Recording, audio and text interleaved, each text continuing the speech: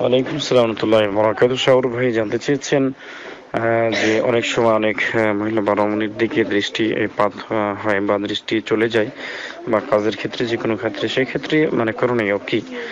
আসলে দেখুন, শয়তান একজন মানুষের পর মেয়ের দিকে দৃষ্টি, বেগানা দিকে দৃষ্টিটাই শয়তানের একটা চক্ষু বলা হয়েছে মানে দৃষ্টির শক্তি বলা হয়েছে, তীর বলা হয়েছে।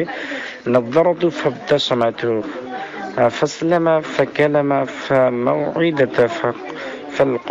প্রথম দৃষ্টি তার মুচকি হাসি, তারপর সালাম, তারপর তারপর মিলন, অর্থাৎ ব্যবিচার সম্মানিত দিনী মুসলিম ভাই, নজর কাম নজর? ইবলিশের একটি তীর, রাশির একটি তীর। নজর হলো ব্যবিচারের পোস্ট অফিস।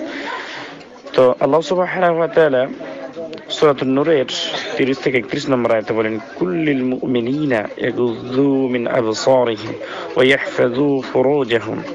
আল্লাহ সুবহানাহু তাআলা বলেন, মুমিন পুরুষদেরকে বলো, তারা যেন তাদের দৃষ্টিকে সংযত রাখে।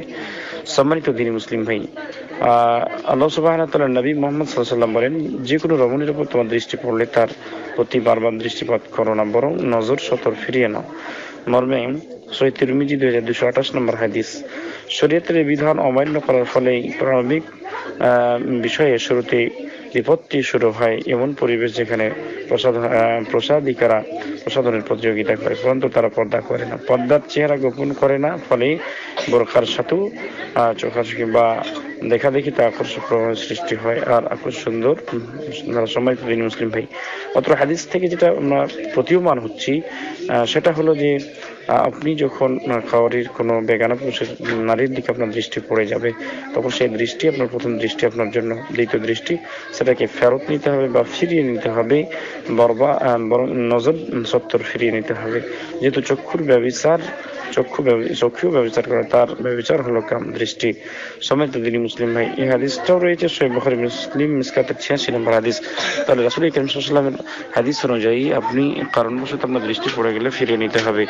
আর আরেকটা বিষয় যে কারণবশত যদি হয়, সেখানে মহিলাদের সাথে লেনদেন হয়ে থাকে, তাহলে সেখানে পর্দা পুষিদের হিসাবটা টানতে হবে। যদি নাই হয়, তাহলে সেই কর্মসংস্থান পরিবর্তনের চেষ্টা করতে হবে। অন্যথায় নিজের চোখে অবশ্যই সর্বদাই সংযত রাখতে হবে। জি, আসসালামু আলাইকুম রহমতুল্লাহ।